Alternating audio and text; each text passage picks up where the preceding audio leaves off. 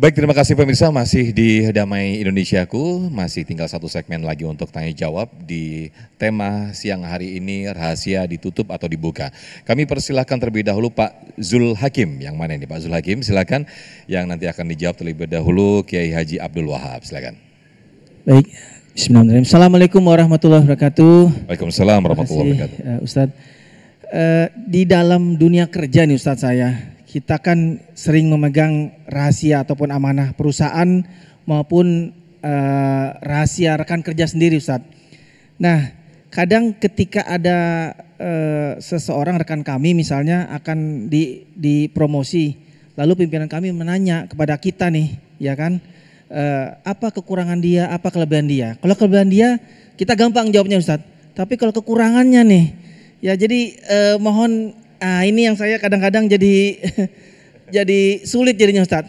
Kira-kira bagaimana menghadapi ini Ustaz? Terima kasih. Wassalamualaikum warahmatullahi wabarakatuh. Waalaikumsalam warahmatullahi wabarakatuh. Mau dijawab kekurangannya nanti matiin teman ya. Begitu ya Pak Zulang. Silakan ya Suwarno. Saya di sini aja dah. Udah capek ya. Mau capek, mau jag majik, mau jag majik mulu. Lagunya tanggal kayak Inmus. Dah ngaji mah di mana juga sama ya.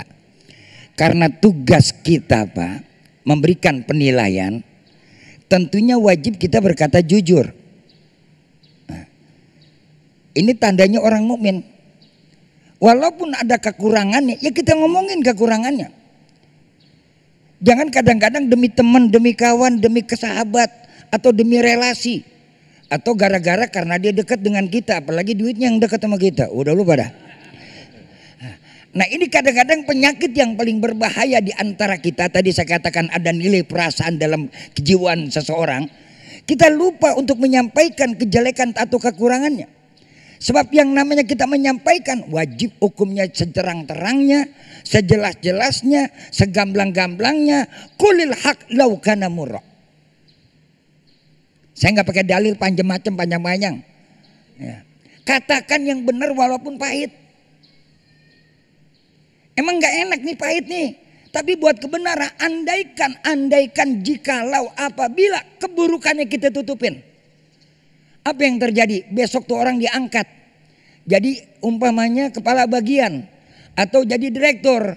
Watak keburukannya jelek, jatuh, keluar semua tuh wataknya. Keluar semua tuh kejelekannya. Siapa yang pertama kita bertanggung jawab? Bukannya dia tapi kita yang tadi yang sebagai tim penilai. Tim penilai ini harus jujur.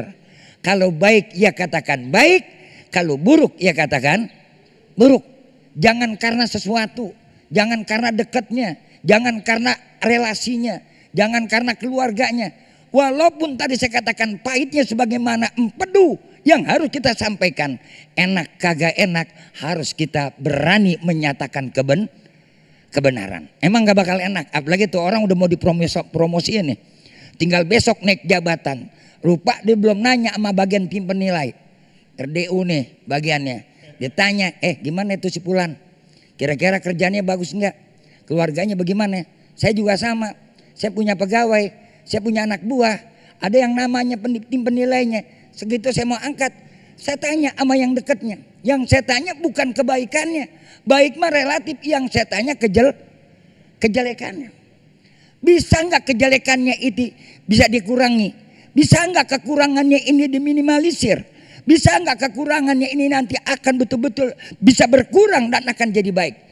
Kalau dia umpamanya saudara-saudara, ini orang ditutupi kejelekannya, besok akan jadi madorot. Siapa dulu yang bertanggung jawab? Ente sebagai tim penilai. Awas hati-hati. Dikasih duit berapa ente? Dikasih uang berapa juga jang. Sebab tuh perusahaan menanggung tuh pegawai yang begitu banyak. Sebab tuh perusahaan menanggung bagaimana perut tuh karyawan. Ini kadang-kadang kita lupa daratan, cuma disogok umpamanya sekian puluh juta, dibeliin mobil satu, dibeliin perabotan rumah atau segala macam kita hilap yang demikian. Boh kita cakep-cakepin tuh. Yang yang minus, yang C kita bikin B. Yang B kita bikin A. Yang D kita bikin B lagi. Masya Allah. Ya Robi ini cakep banget ya. tahu-tahu besok dia diangkat, besok dia dilantik, besok dia jabat di satu kedudukan.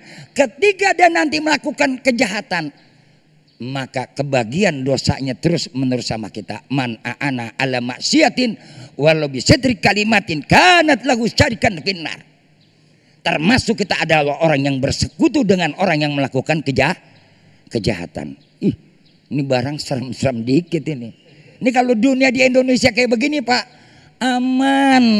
Am, aman, koruptor kagak ada, bajingan habis. KPK tidur, polisi istirahat. Ini kan gara-gara pada mata duitan semua. Hubbud dunya wa karohiyatil maut. Karena manusia udah kebangetan cinta dunia dan takut dia mati. Akibatnya apa? Dia lupa daratan, dia pikir hidup akan selamanya. Dia pikir hidup akan abadi. Padahal kematian mendatangi dia setiap saat. Nanti apabila terjadi sesuatu kejahatan, kemaksiatan, kerusakan, siapa pun mereka yang bersekutu dengannya sama dosanya seperti mereka. Waduh, ini kalau ngomong begini cakep ini sama KPK kita. Insya Allah mudah-mudahan semua bisa kayak bantal begitu. Amin. Insya, insya Allah jangan tergoda sama dunia, sama dunia. Biarin pak, kita susah di dunia. Yang penting kita senang di ah, di akhirat. Tinggal pilih mau senang di dunia, apa susah di akhirat. Hidup itu kan pilihan. Kepengen kita Robbana atina fid dunya wa fil akhirati wakina ada tapi kalau pengen itu gampang wal akhiratu khairul laka minal ula kalau pengen dunia dapat akhirat dapat dalam hidup pikirin akhirat. Jangan pikirin dunia. Kalau udah pikirin akhirat insya Allah dunia dapat. Tapi kalau mikirin yang kita kejar cuma dunia akhirat nggak bakal Allah kasih. Bahkan tuh dunia kita akan habis dan musnah akhirat kita akan sia-sia. Insya ini ibu begini, milih waktu buat akhirat, buat ngaji, ketimbang di jalan-jalan hari Minggu. Kita pilih akhirat bu. Biarin orang-orang mah senang-senang pergi ke mall. Kita ngetem di pengajian. Ya Allah dikasih air kagak, dikasih makanan enggak kan gitu ya. Tapi karena akhirat yang kita dapat, yang kita pilih, insya Allah dunia juga kadap Dapat. dapat. Orang yang pergi jalan-jalan, pergi senang-senang tuh orang kagak senang. Kenapa saya bilang kagak senang? Karena dia cari itu kesenangan. Kita yang datang di pengajian, kita nih orang yang senang. Nih ibu bisa ketawa, bapak bisa lepas, pikiran kita bisa tenang. Di mana kita duduk di tempat kebaikan, masya Allah, udah ada janji dari baginda Rasul kanjeng Nabi kita Muhammad. Walikuli khutwatin makfiratu minallah. Setiap langkah kita akan dapat ampunan dari Allah. Wal malaikatu yaftahu janahaya yastaghfiruna ilallah malaikat membukakan kedua sayapnya, kedua sayapnya. Ketika kita duduk di satu majlis ilmu, masya Allah apa yang Allah kasih kepada kita, yastakbiruna ilallah itu malaikat mengampuni dosa kita kepada Allah Subhanahu Wa Taala. Masya Allah. Amin. Amin ya rabbal Enak alamin. apa enak? Enak apa enak? Karena milih apa itu? Akhir, Akhirat. akhirat. Baik. Insya Allah. Insya Allah terima kasih Kiai Haji Sumarno. Tapi ini tadi dikasih makan minum kan Bu ya? Dikasih, dikasih tuh ya. ya.